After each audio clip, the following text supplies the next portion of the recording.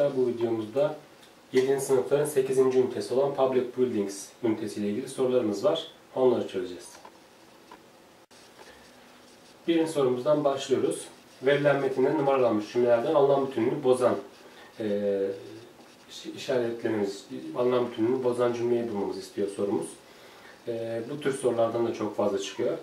E, hemen bakalım isterseniz.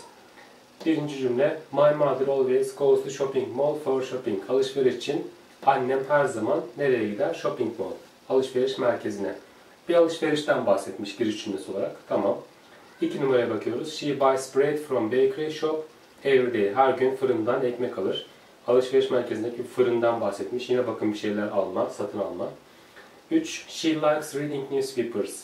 O gazete okumayı sever. Bakın burada bir e, farklı bir yere gitti cümlemiz. Bakalım dörde de. Bu tür soruları yaparken mutlaka bütün cümleleri okuyun arkadaşlar. Size tavsiyem. Hepsini bir okuyun. Yani 3 e, bozdu hemen 3 C şıkkını işaretleyelim demeyin. Mutlaka 4'ü de okuyun. Hepsini okuyun. 4'ü de okuyorum. She never goes to restaurant. O asla restoranta gitmez. She always cooks at home. O her zaman e, evde yemek pişirir. Bakın şu e, dördüncü cümleyle ikinci cümle birbiriyle bağlantılı. Fırından ekmek alır. Restoranta gitmeyip evde yemek pişirir. Fakat 3 numara anlatımı bozdu, anlam bütününü bozdu.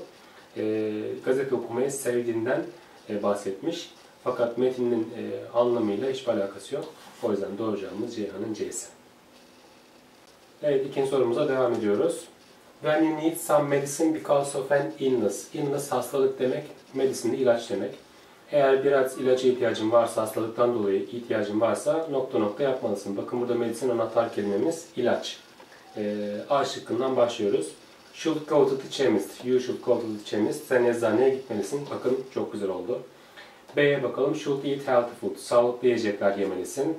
Must eat fresh fruit. Taze yiyecekler, taze meyveler yemelisin.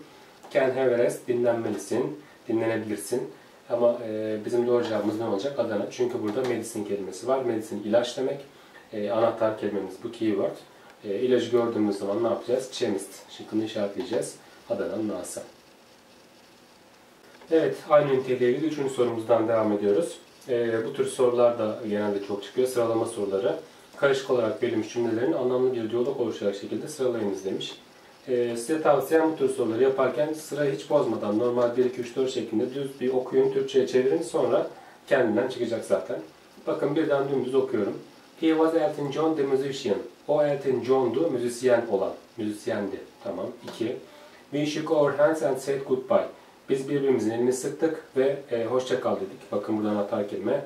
Demek ki bu iki numara hoşça kal kelimesi anlaşıldığı gibi sona gelecek. Bakın son B şıkkında ve D şıkkında var. Gördünüz mü? Yakaladık hemen. He sang one of his albums for me. Benim için albümünden, albümlerinden bir tanesini imzaladı.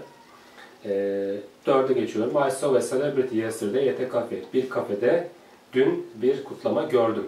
Bakın doğrudan dörtle başlayabilirim cümleye. Kafede bir kutlama gördüm.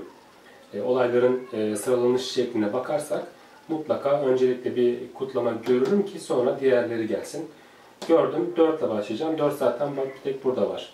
Zaten biz A şıkkıyla C şıkkıyla elemiştik. B ile D kalmıştı. 4 ile başlayan bir tek D şıkkı olduğu için doğru cevabımız Deniz'in D'si. E, bir kutlama gördüm. O Elton John'du. Sonra geçiyoruz 2'ye, 3'e. O albümlerinden bir tanesini benim için imzaladı. Sonra da 2 goodbye'lı cümle. E, biz birbirimizin elini sıktık ve hoşça kal dedik. E, doğru cevabımız Deniz'den.